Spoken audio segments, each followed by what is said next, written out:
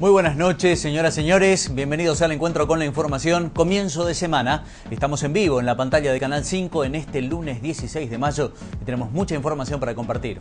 Acompáñennos. Estos son los títulos del día.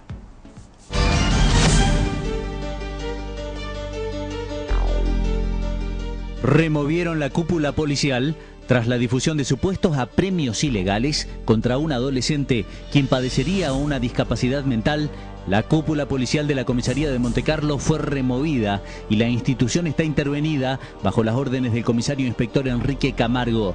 Las redes sociales fueron el eje de discusión a raíz de la publicación de fotos y videos. ¿La policía te llevó el río? ¿No sabes cuándo era que te... ¿Qué? Dato revelador. Las cámaras de seguridad podrían arrojar datos reveladores sobre el supuesto caso de apremios ilegales que involucra a la policía. Asuntos Internos está llevando adelante la investigación para determinar qué sucedió. Tres efectivos pasaron a disponibilidad y el comisario Celestino Medina fue separado del cargo y suspendido. El comisario inspector Enrique Camargo, actual interventor, relató cómo se fueron sucediendo los hechos. Aparentemente un patrullero habría levantado al menor eh, involucrado en este, en este hecho de nombre Alan Reclamo de madereros. En Montecarlo el pasado viernes 13 de mayo, los trabajadores madereros se manifestaron sobre la Ruta Nacional 12. La misma protesta se replicó en El Dorado y Puerto Esperanza. Hubo trabajadores que se solidarizaron con la causa. No descartan volver a la ruta.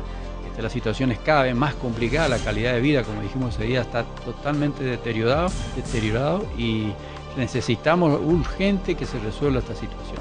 Institución acéfala. El hogar de niños Divina Misericordia de Jesús se encuentra en una situación realmente complicada. La comisión está acéfala. Durante todo el año 2015 sesionaron sin quórum. En las dos convocatorias a asamblea no lograron reunir el mínimo de participantes para constituir un nuevo órgano administrativo. Se vuelve a realizar una tercera convocatoria. El hogar podría perderse. Y en esa reunión si bien asistieron algunas personas más, pero tampoco gente como para formar una comisión directiva y, digamos armar un grupo de trabajo para que el hogar funcione normalmente.